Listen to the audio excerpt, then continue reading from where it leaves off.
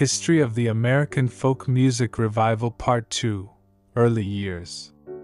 The folk revival in New York City was rooted in the resurgent interest in square dancing and folk dancing there in the 1940s as espoused by instructors such as Margot Mayo, which gave musicians such as Pete Seeger popular exposure the folk revival more generally as a popular and commercial phenomenon begins with the career of the Weavers, formed in November 1948 by Pete Seeger, Lee Hays, Fred Hellerman, and Ronnie Gilbert of People's Songs, of which Seeger had been president and Hays executive secretary.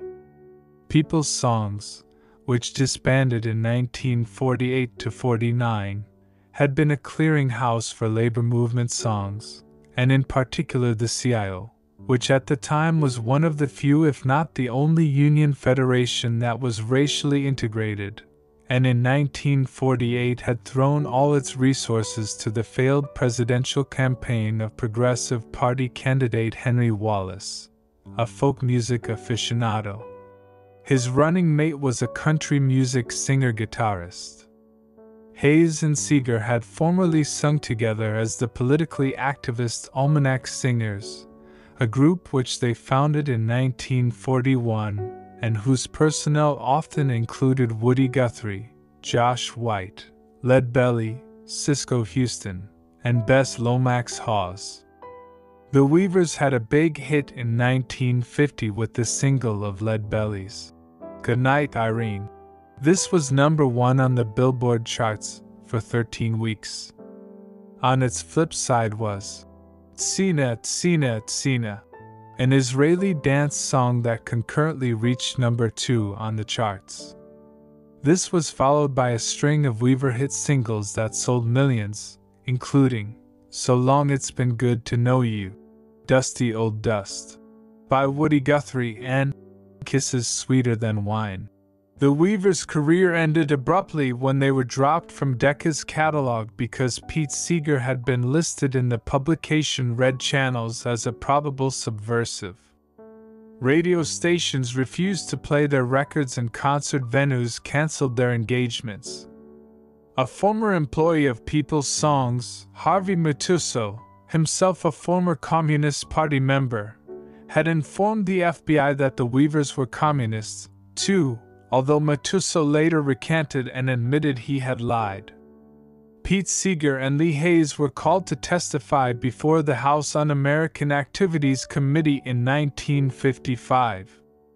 Despite this, a Christmas Weaver reunion concert organized by Harold Leventhal in 1955 was a smash success, and the Vanguard LP album of that concert, issued in 1957, was one of the top sellers of that year, followed by other successful albums. Folk music, which often carried the stigma of left wing associations during the 1950s Red Scare, was driven underground and carried along by a handful of artists releasing records.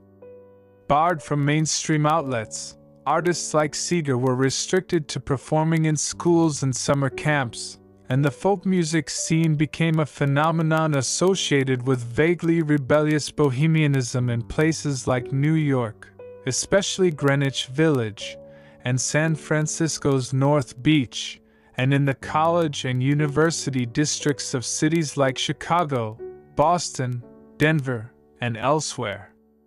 Ron Eyerman and Scott Barretta speculate that, it is interesting to consider that had it not been for the explicit political sympathies of the Weavers and other folk singers, or, another way of looking at it, the hysterical anti communism of the Cold War, folk music would very likely have entered mainstream American culture in even greater force in the early 1950s. Perhaps making the second wave of the revival nearly a decade later, that is, in the 1960s redundant. The media blackout of performers with alleged communist sympathies or ties was so effective that Israel Young, a chronicler of the 1960s folk revival who was drawn into the movement through an interest in folk dancing, communicated to Ron Eyerman that he himself was unaware for many years of the movement's 1930s and early 40s antecedents in left wing political activism. In the early and mid 1950s, acoustic guitar accompanied folk songs were mostly heard in coffee houses, private parties, open air concerts, and sing alongs, hootenannies, and at college campus concerts. Often associated with political dissent, folk music now blended, to some degree, with the so called beatnik scene, and dedicated singers of folk songs, as well as folk influenced original material, traveled through what was called the coffeehouse circuit. Across the US and Canada, home also to cool jazz and recitations of highly personal beatnik poetry. Two singers of the 1950s who sang folk material but crossed over into the mainstream were Odetta and Harry Belafonte, both of whom sang Lead Belly and Josh White material. Odetta, who had trained as an opera singer, performed traditional blues, spirituals, and songs by Lead Belly. Belafonte had hits with Jamaican calypso material as well as the folk song like sentimental ballad, Scarlet Ribbons. Composed in 1949,